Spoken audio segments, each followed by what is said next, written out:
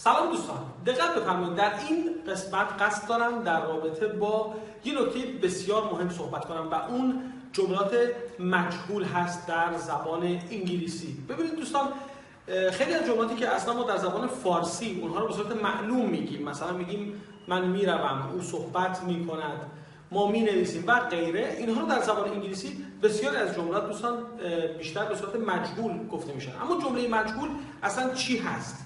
خب همونطور که عرض کردم دوستان قبلا در در قسمت گرامر به صورت کامل راجع به موضوعات در موضوع جملات مجهول صحبت کردیم. جمله مجهول دوستان در واقع جمله است که با فاعل شروع نمیشه بلکه با مفعول شروع میشه. مثلا میگیم آن پسر به بیمارستان برده شد. یعنی اون پسر برده شده. خودش کار رو انجام نداده بلکه کاری بر روی اون انجام شده. پس پسر در واقع اینجا مفعول هست و جمله داره با اون شروع میشه.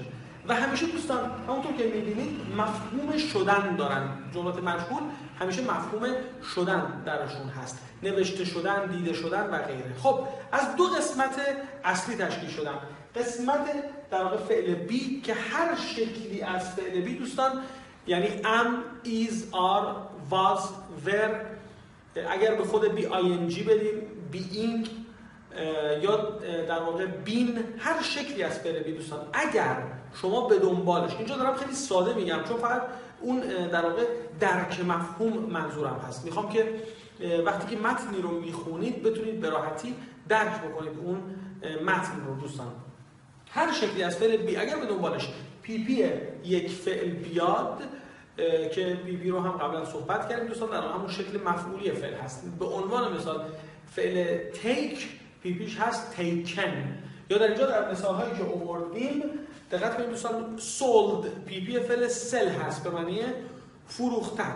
خب اینجا به مثال ها دقت بفرمایید دوستان. سه تا مثال رو آوردم که در هر سه مثال شکلی از فعل be و pp یک فعل رو می‌بینیم. شکلی از فعل be و pp یک فعل. اما دقت کنید دوستان جمله اول it was sold. خب sold دوستان همونطور که عرض کردم در واقع پی پی فعل سل هست به معنی فروختن.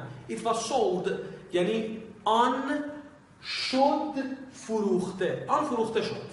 پس it was sold دوستان یعنی فروخته شد.